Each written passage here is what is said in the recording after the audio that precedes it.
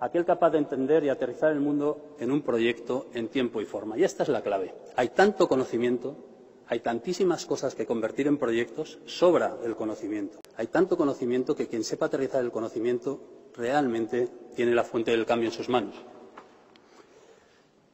La gran revolución del momento es la revolución emprendedora.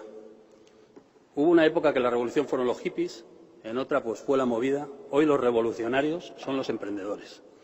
No tengáis ninguna duda, son los que van en contra de todo, los que están cambiando las cosas. Y hay que empoderarse. Empoderarse supone querer cambiar las cosas.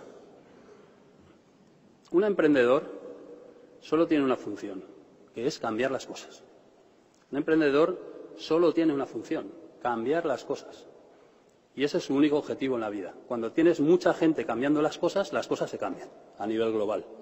Y esto es lo que ocurre. En definitiva, necesita superar sus miedos, entender qué pasa, pero sobre todo ser capaz de entrar en acción.